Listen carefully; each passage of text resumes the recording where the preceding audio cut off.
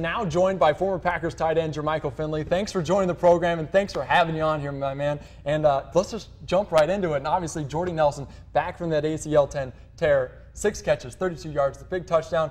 How important, because you played with Jordy, you played with Aaron, how important is Jordy to this offense? Uh, he's important, man. He's a key factor to the offense. Uh, you need him. Uh, first, you want to start the running game off uh, Yep. with the Eddie Lacy and Starks to get that going. And uh, once that going, you get Jordy on the edge and Cobb on the edge and get them guys going. So very important. And they Jordy didn't take a single snap in the preseason.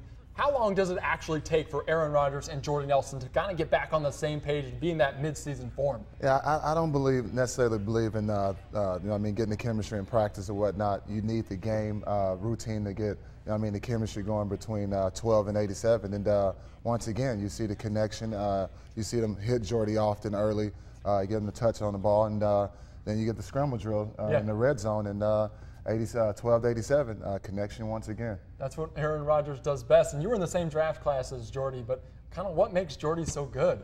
He- He's one of them guys. He's Mr. Reliable. Uh, you know, you can't catch him up. You can't catch him down.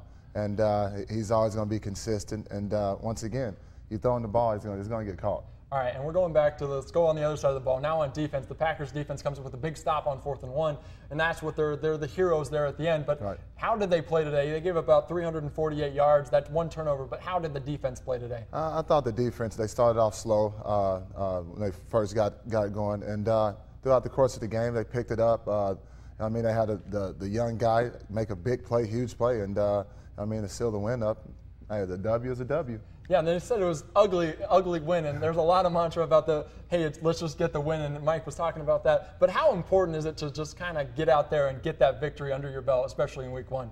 Uh, it's just like a receiver. You know, the receiver got to touch the ball early and often, and uh, the Packers got the, you know, I mean, the beginning of the season going right uh, with the win over the, the Jacksonville Jaguars, and now it's all downhill going to Minnesota.